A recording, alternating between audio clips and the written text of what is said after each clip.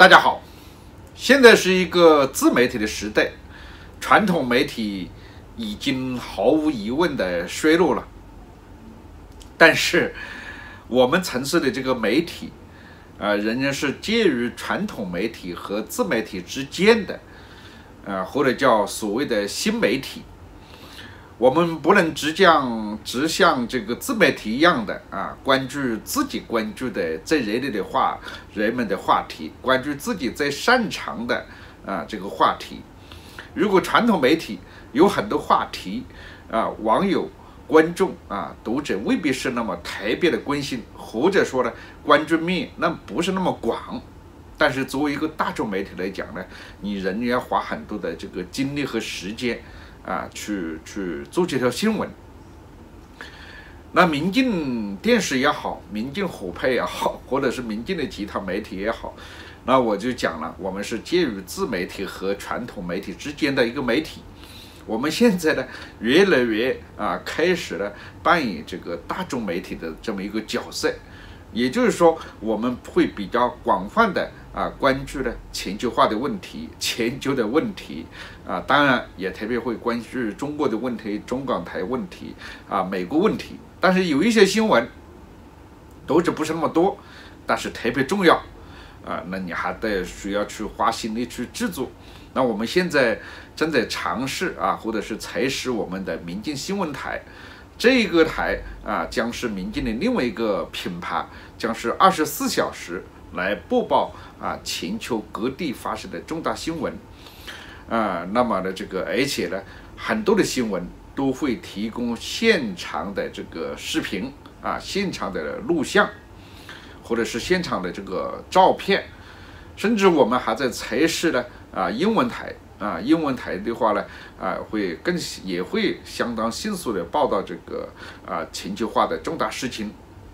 但是今天我们在测试的一条消息，就是早上一这个这个一起来啊，我们的这个一个朋友啊，芝加哥看天下的那个主持人黄广先生就发了一个这个新闻出来，因为他是关注中国啊，关注这个美国新闻。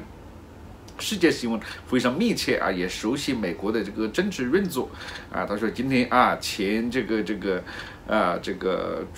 呃川普的这个国家安全顾问啊福林先生呢啊要要到法院去了啊，我们就赶紧看这个报道。哎，结果当时候啊视频还没有出来啊，到了十点半啊，这个这个这个到了这个。啊，这个这个胡林到了法法庭啊，整个这个制作过程中间，以我们现在的团队和人力，我们是非常的紧张，但是我们仍然是兵分两两路，一路呢啊制作这个中文新闻啊，就是讲胡林的事情，一路呢就不报这个英文新闻，现在还是在这个测试阶段。而我们讲到福林，他这个在法庭后来就是认罪了啊，认罪了，说了愿意配合这个特别检察官的这个啊这个调查。那么我们知道福林的这个涉嫌的这个罪行呢，其中主要的其中一项就主要是跟这个俄国的这么一段关系。俄国的关系啊，坦率的说啊，这是我对美国的政治啊非常失望的一个点。我觉得在现在的这种国际政治情况之下，啊，美国居然可以跟中国的友好关系，为什么跟俄国的关系啊始终是那么恶劣？而川普政府上台以后，试图去啊纠正啊这个呃这个啊美俄国对啊美国对俄国的一些错误的政策，但是呢，没想到两件事情使呢这个。呃，川普啊，脱不了身。一个就是说呢，这个两条主线，一条就是说，这个川普之所以能够当上总统啊，俄罗斯的特工部门啊，在里面扮演了这个很关键性的这么一个角色啊。那么呢，这个使川普当选啊，这样的话呢，使这个川普对俄国的政策方面啊，反而由于这个呃谣言也好，传言也好啊，啊有所这个顾忌。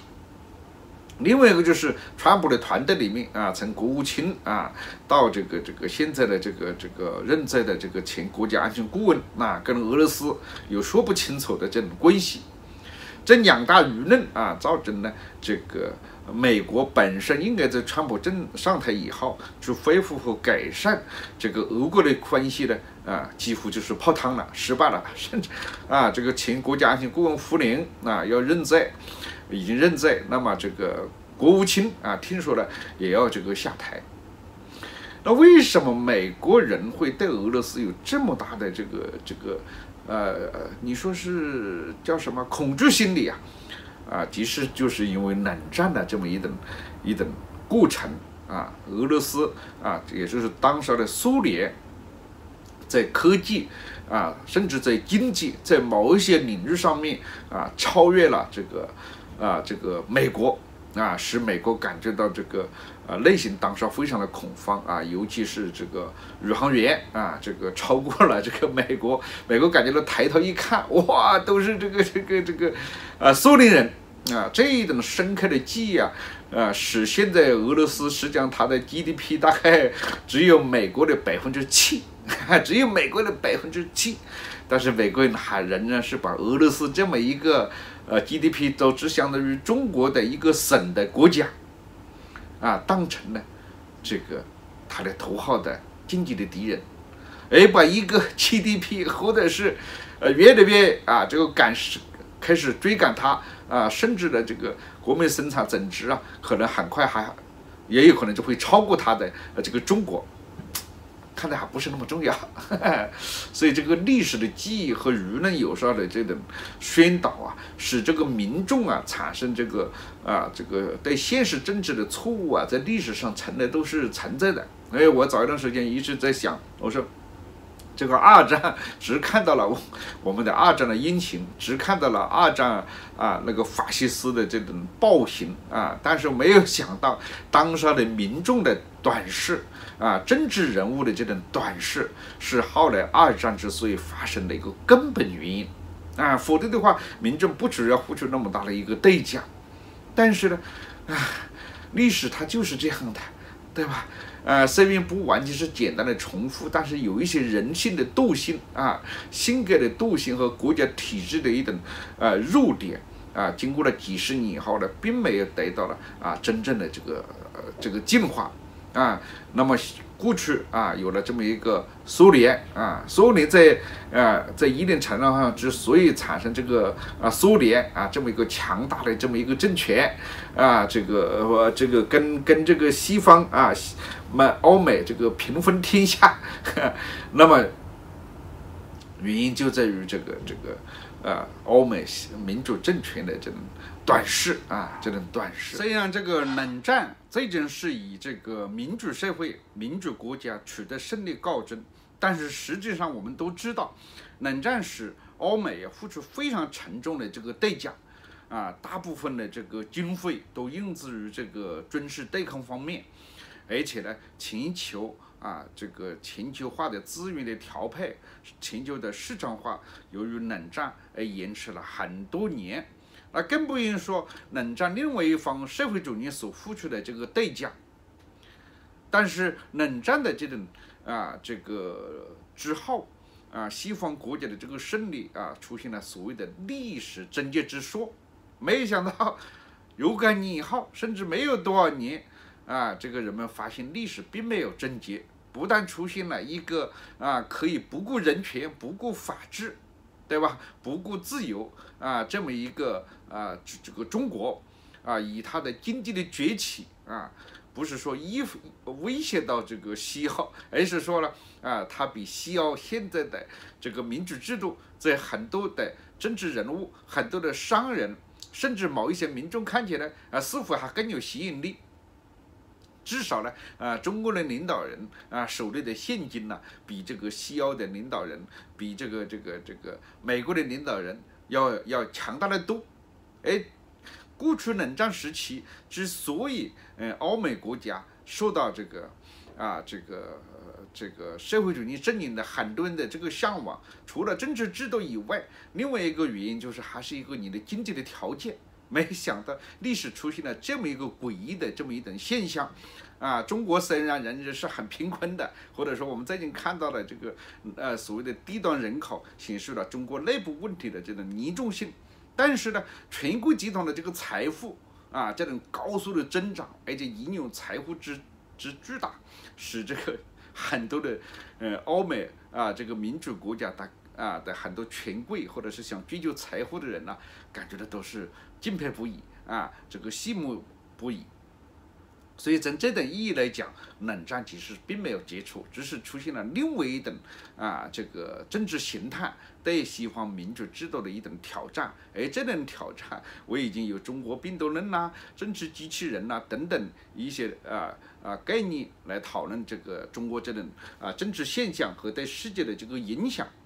而在与此同时，还有另外一个国家搞整了一等更更具有现实性的或者更具有。挑战性的这个啊，这种啊政治制度啊政治现象，甚至军事力量，就是我们现在看到的这个朝鲜。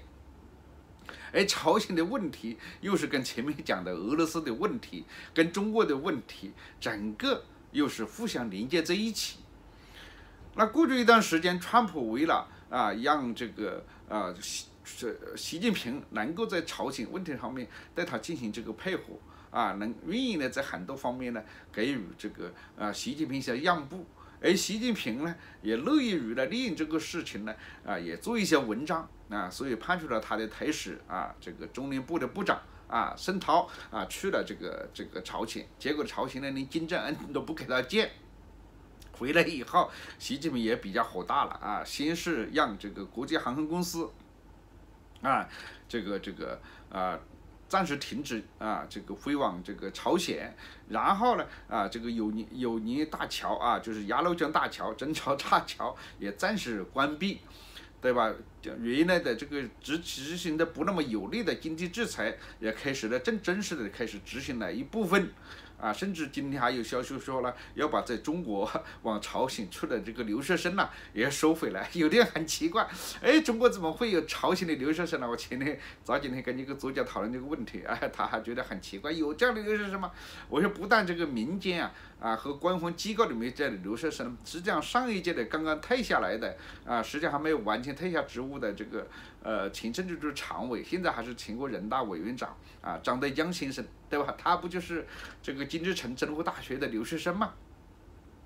那么中共这种威胁啊，他呃，这个在朝鲜呢还没有起到关系性的作用啊。朝鲜呃，这个没有接受这种威胁，哎，发射了这个啊，和听说是有史以来 在朝鲜有史以来啊最具有威慑力的啊，最最最具有这个啊这个远程的啊。这个洲际弹道导导弹啊，声称可以打到美国的任何一个州啊，能不能真正打到不知道，万一能打到呢？那就在中国愿意配合的情况之下，另外一个国家完全不把美国的这个警告威胁看在眼里，这个就是俄罗斯啊，因为没有理顺好跟俄罗斯的关系，那俄罗斯在很很多方面就是跟你进行这个对抗，那么本来。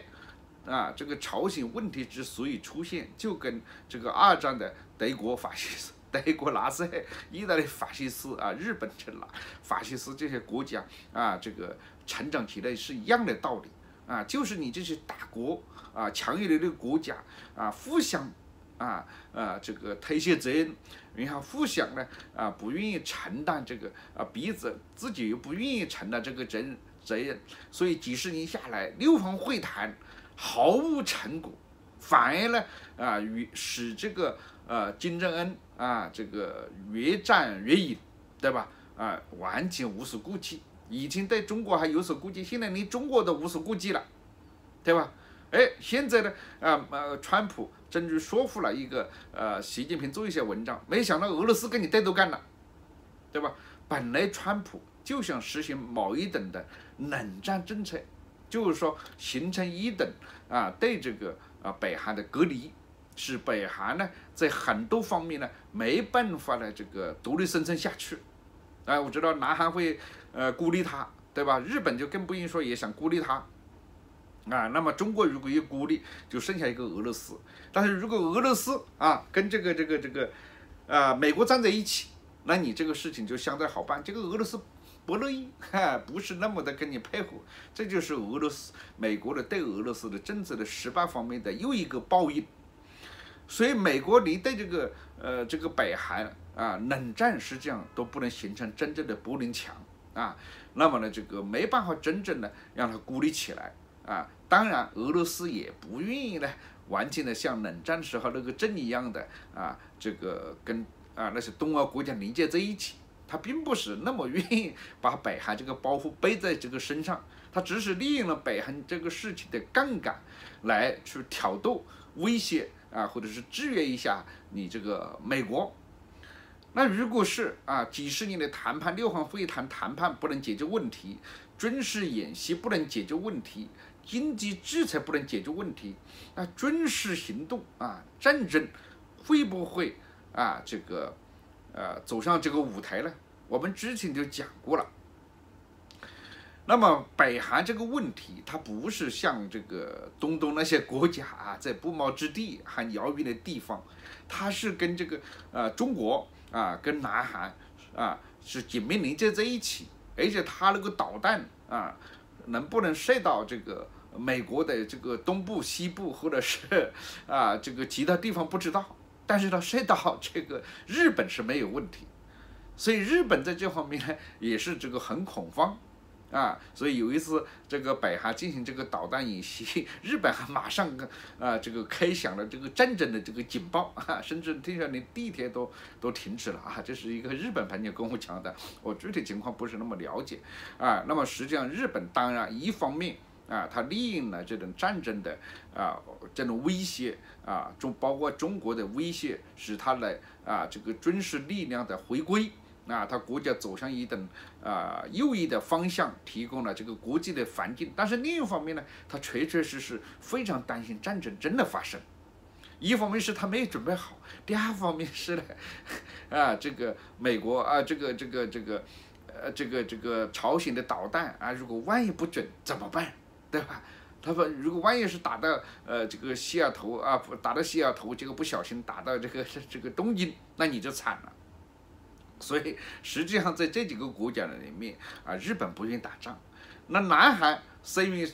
政治制度跟北韩有本质不同，但是南韩对这个北韩的这个情感和香港人和台湾对大陆的情感还是有很大的不一样，这是很奇怪的现象。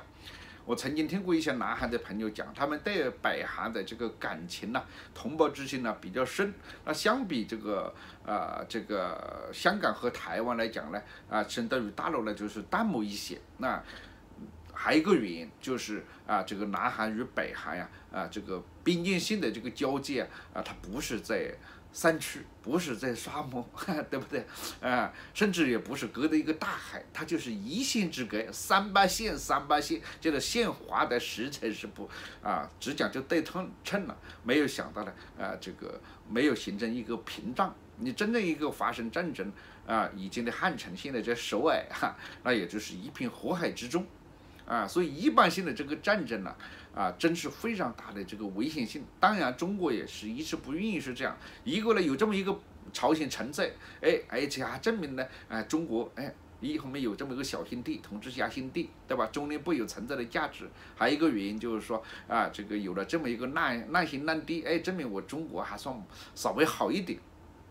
当然有一些现实的原因，就是难民的冲击啊，对整个的啊中国东北地区，尤其是吉林的这种边境线上的这个冲击啊，然后还有一个是，万一那个时候南北韩统一了，又形成一个强大的这个朝鲜的啊民主和自由的这么一个政权等等等等原因，中国也是不乐意。那真正使这个北韩崩溃下去，或者战争把它敲掉啊，所以中国也是愿意拖，南韩也是愿意拖啊，这个日本也是愿意拖。本来这个俄罗斯就是利用这个东西呢，远东来玩一玩。啊，美国的，但是他现在发现，哎，你们这几个兄弟好像不想玩了，形成一个这个要真的对这个北韩形成强有力的制裁，那俄罗斯他就可能跟你某一种方面较量较量，对吧？啊，那么呢，这个呃不仅是这个在实际上来讲，可能给金正恩某一些支持，可能在啊要进行联合军事行动啊，联合国啊，叫联合国军队，嗯，现在驻扎在这个。南韩的啊，实际上呢是美国的军队，但是名义上还是联合国的军队。联合国的军队的名义上的这个行动就出现了某一些困难啊，由于俄罗斯的啊不支持。不过呢啊，这个真正的原因就是说，还不是这些些，真正的原因是美国的军事的打击能力有多强，会不会像当年那等 那等这个这个沙漠风暴一样的那种致命性的高科技打击，是不是重新上演？还是你万一有所疏忽啊，你会出现多大的这个军事危机啊？对这个周边国家，尤其是对这个所外有多大的这个伤害度啊？然后，如果是你这种啊，这种这种精准级的精准的这个打击不够这个有力啊，不够完完美，那你在这里要不要这个调动这个？出动这个地面部队，如果一旦出动出动这个地面部队，是不是像美国像很多参加很多战争行动一样的啊，就掉入一个陷阱，然后就不可自拔？所以这也是川普声援啊，有胆量啊，这个人有胆量啊，就是敢干活，但是真正想起战争的时候，还是比较害怕。所以正是因为各方面啊算计自己，甚至各方面不愿意承担这个责任。也换也是有很多民众呢，对这个事情呢也不了解甚少，然后问题就变得越来越严重，越来越严重，然后变得以最终的结果，如果你形成某一种冷战，等于是说默认啊，这个朝鲜呢就拥有了这个核武器的打击能力。如果朝鲜有了核武器的打击能力，那除非是他们内部产生根本性的这种变化。否则的话，始终就是一个对世界和平非常大的一种威胁，而其中威胁 首当其冲的当然不是美国，而 是这个中国，啊，而是然后呢是这个日本，再其次呢是南韩，最后面才可能啊是这个美国。但是如果整个啊真正这个战争这几个国家都对付不了这个北韩。啊，那么整个世界的局势啊，就可能由于这个朝鲜战争的这一次爆发，可能就会重新改写。所以怎么打这场仗啊？这个有没有可能进行这个啊战略性的打击，而不要出现啊这个地面部队啊？这也是美国的军方啊，也是呢美国的政治家、战略家们现在头痛的一个地方。好，谢谢大家。